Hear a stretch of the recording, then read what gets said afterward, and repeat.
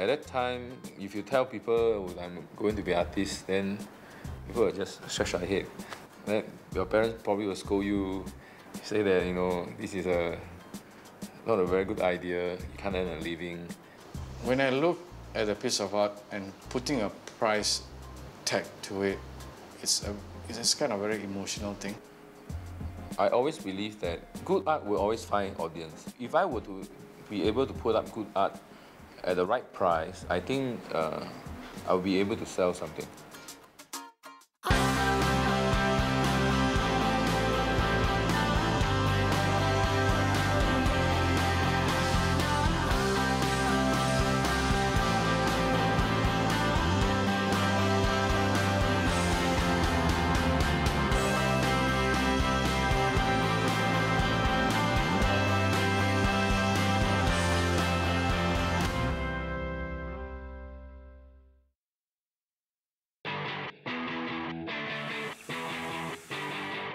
I'm Jeffrey Wandly, architecturally professionally trained.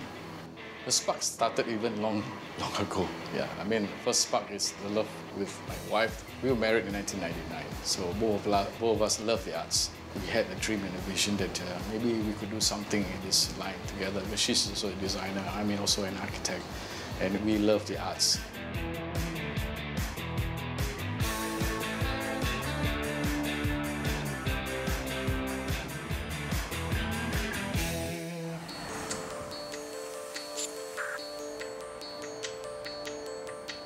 I would say I'm putting everything under one uh, one environment, which is the uh, setup that we have now, which is Maya Associates, eh? and Maya Gallery is part of it. We are putting everything together, all our skills and expertise, uh, with my wife and, and our partners. Maya is different. We are not just a gallery that just buy and sells art. We have a very good relationship with all the artists.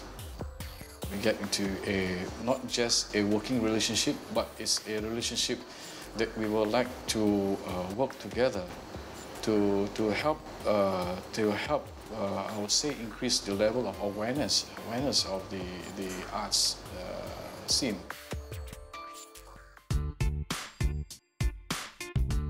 Presence at the gallery area lah. So Maya Gallery has a, a booth lah. At, at the end of the day, consciously one wants to do something, and one shares the vision, and one works towards it. Also, on top of it, a balance between the bread and butter issues and all that. How to for us to create, to sustain. I Mendaki, I Mendaki. See the three meters Ah, wide. three meters. Nothing comes just a springboard just like that. It'll take time. It'll take time to build. We can't rely just on the social media. Social media is also a very good platform. We can't deny today's generation is it, and today's world is like that. But the personal contact is important. For example, an artist, we just don't buy and sell the artwork. The artwork speaks a certain language. The artwork has some content. So getting to know the artwork and buying something, whether out of emotion or out of investment, is also to understand exactly what the art is all about and a little bit more of the artist. All this information into one panel lah, Suna. You put all this information about protege and mentor into one panel. It's just not buy a shampoo or buy uh, other products, you know, that you see, they can you just talk about it, you just read about it and that's all. And I want to, uh, this has been uh, also one of our vision is that to, in, in, in the areas of arts education. We, we had programs, you not just for, for schools and private institutions, even corporate bodies too. Yeah. So the, our approach is uh, different in that manner.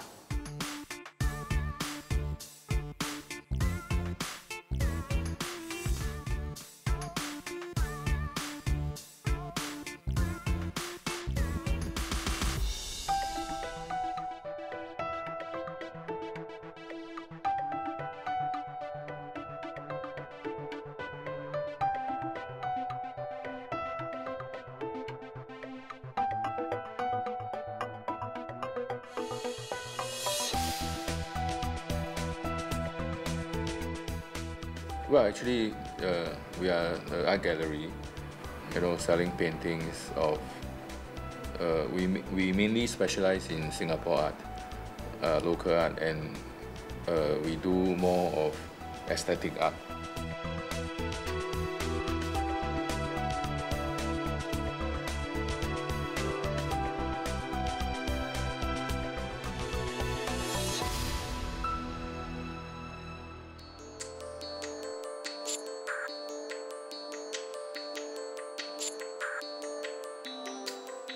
So basically, the, this gallery is about close to 800 square feet. So if you look at the design, um, now you can see that the center is, there's a sort of a partition. So actually this space was designed such that if the business didn't pick up well, I can just jettison off half the space and return to the landlord. And also we have my operating nerve here, which is my studio. The walls are partitioned so that to create more wall space because uh, wall space is uh, very crucial for gallery business. We have uh, some so-called space saving initiatives like this one. You know, we can hang more paintings. Yeah. And then uh, we have designs like this. So it's like a wallet where you can put a lot more paintings. Yeah. There are a lot of factors driving this. First thing, we don't have a lot of capital. Having said that, capital is a cost itself, right? So we have to think of a low-cost way to do it. Second thing is, no, this art thing uh, is, it's not a mass market product. We don't go on volume, so to speak in business, there are many ways to do the same thing. Of course, you can throw in money to advertise, market. For us, we take a different route. When I moved here, I started to do mature artist work. Then I asked myself, there are a lot of galleries, uh, very established gallery doing this artist. So who am I, you know? There must be a competitive advantage. So first, I position myself as a knowledgeable gallery. In fact, we have talks for every exhibition, we have reading materials. We talk about heritage. We talk about technical skill in appreciating art, which a lot of other galleries don't do. Secondly, I call it the budget airline concept. Because what the customer wants is actually a good piece of work at a reasonable price on their, their home's walls. So uh, we, with lower overheads, uh, we buy time. And then words of our emergence slowly spread out among the circle. So it's, you know, it's people talk, yeah, so-called like referrals. So we, we, we depend on that.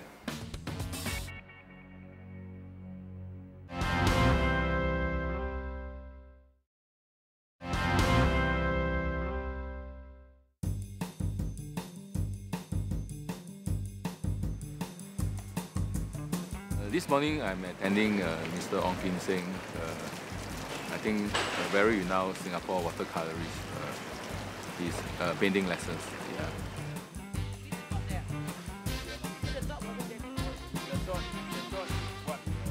Now I'm an artist. It's advantageous to me because then I can join artists gathering. We have a session where um, amateur artists meet. So I met this this artist there. Then I because I'm artist, I know. I, I know he has pretty good skills. Then I know that he's very passionate also. Because these are the things that actually, uh, I mean, signs that this guy will make it. Yeah. So then after that, yeah, we decided to take him. Yeah. I mean, you have to be in a circle. You obviously got to open your eyes and watch. 啊，对对对。就是这样的，它本来就是这样的。If you are influential gallery, then of course uh, many artists will want to look for you. But if you want to go up, I mean look for artists that's higher than you, your status, uh, your gallery status, then yeah, I guess you have to move to them. There's one side which is the power of the uh, gallery. There's another side which is the power of the artist. So if you look, it's like looking for, for a partner, right? I mean, a soulmate in the old days we say, you know, you must be of the same status. Yeah, so if you want to look down, it's very easy. You want to look up, you know, it's kind of more difficult. Yeah, I think it's the same kind of relationship here.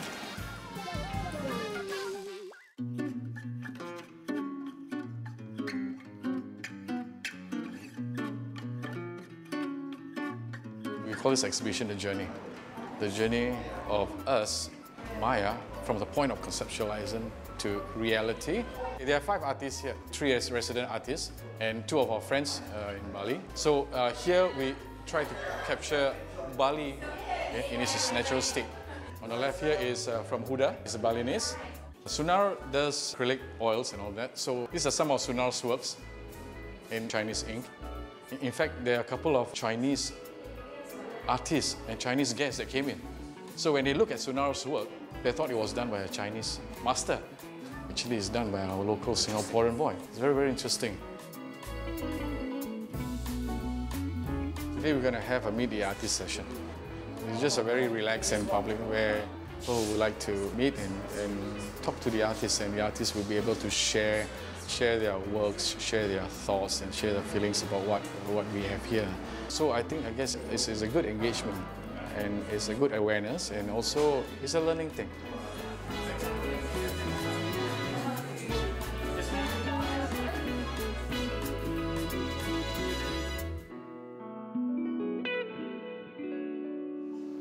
When I look at a piece of art and putting a price tag to it, it's a it's kind of a very emotional thing because uh, I have to consider a lot of things. Uh, I will see the artist because he needs to survive, and I will see our relationship with him or her to see how far can we go together. And the other emotions would be looking at the art and how it's been speaking to you, you see. Putting a labeling and price tags is important, but the, the, the experience to just to put it there, a lot of considerations. Yeah, because it involves survival for the artist as well as the gallery.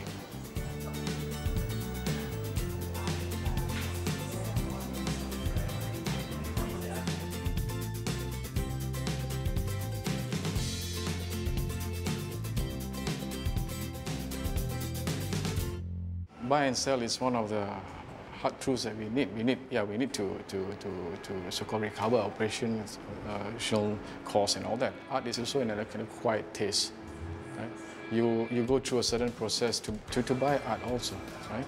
And we are here also to share, maybe through the sharing, for them to appreciate the art, appreciate and get to know the artists themselves. Because I think here we're just not selling the artwork, right?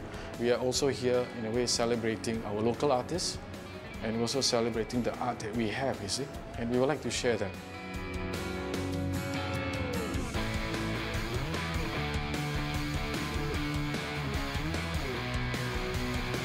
The risk is at the last minute the artist will pull out. Then, but the, the other risks are also the monetary kind of things that there's a lot of investment is put. Time, effort, lots of planning for marketing, for example, to get the message across to the other side. But I think the bigger objective, bigger objective of where we want to go, I think that's, that's more important. At the end of the day, facts remain facts, we need to eat. Right? So it is also a concern on bread and butter issues and all that. Doing something that you wanted to do, uh, doing something that you are passionate about, there is very difficult to draw the line between a business and something and passion. Yeah, it's already it's already part of you.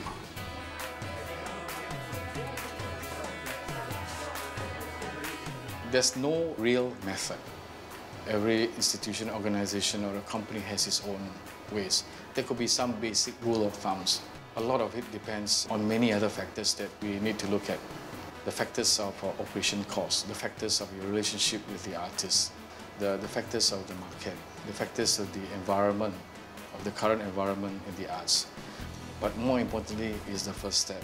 First step is that, uh, yes, if we feel confident with whatever we have now, the right team, the right mindset, so just say we give it a go.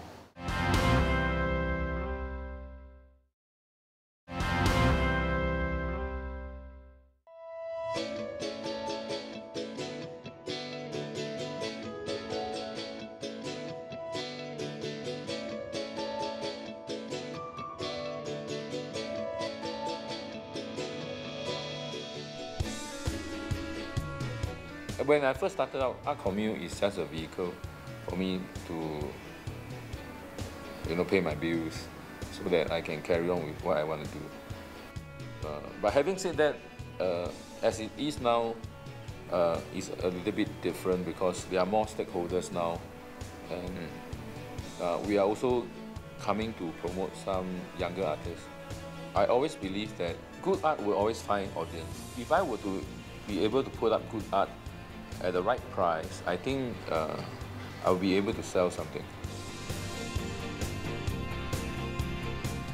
So we went around to look for some good works. They are priced cheaply because you see the thing about the art artwork is the price is always very dependent on your fame, right? So if it means that actually there are some artists who are good, but they are not famous, so their artworks is cheap. So I, I'm trying to do that market. At that time, I opened my shop in Chinatown Point. The rent was much lower because Chinatown Point was at that time is the cheapest in so-called CBD areas. After moving here, my cost went up quite a lot. The rent is three times more. So much pressure, you know. It's... Then I realized that my old model can't work because uh, it's very difficult for young artists to sell works. I mean, in the past I sell two pieces a month, I'm okay. But here, there's no way. So I went around with the networking that I have, checked around in the gallery circle, and then I found partners who are willing to come in, and then we shifted our focus a bit. I started to sell more, I would say more expensive stuff. Now my average piece maybe is uh, between 8, about 8K.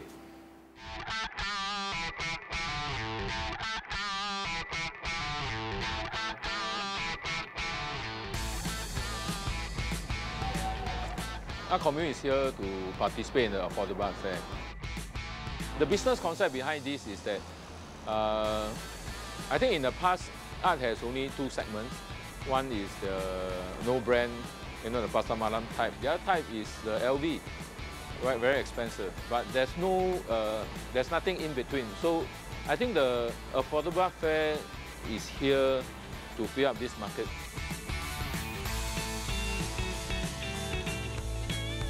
This is our store, so we need to make some changes to the booth.